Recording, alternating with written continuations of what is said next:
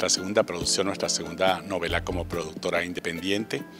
El libro es un original encargado nuevamente a Martin Ham, uno de los escritores más brillantes que hay en el país y mm, se centra primordialmente en el tema de la traición.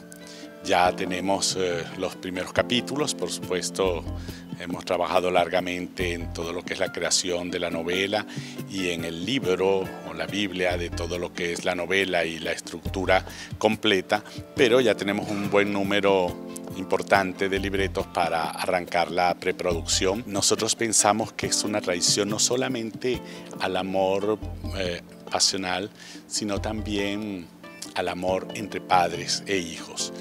La protagonista de esta historia es una mujer que se ve obligada a cometer un asesinato para poder salvar a su hijo.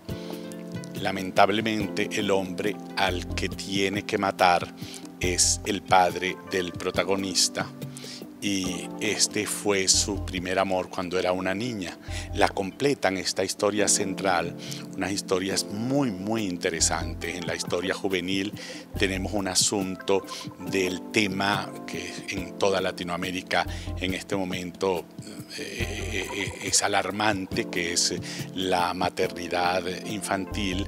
Tenemos también un tema importante en cuanto al divorcio eh, y, y la diversidad sexual como, eh, como argumento para la separación, en fin, una serie de temas que se corresponden y que de alguna manera tienen la unidad no solo en la traición al corazón, sino también en la traición a, los sentimientos más eh, primitivos del hombre. Desde hoy comienza todo el trabajo de casting para la novela el trabajo de la búsqueda de locaciones, el trabajo pues de el libro de arte de la novela, básicamente todo lo que es el diseño de producción en hasta este momento ya se ha cerrado y comienza todo el ciclo de arte de la novela. Nosotros pretendemos que durante todo el mes de septiembre y octubre terminemos todo lo referente incluso a tener los decorados y las locaciones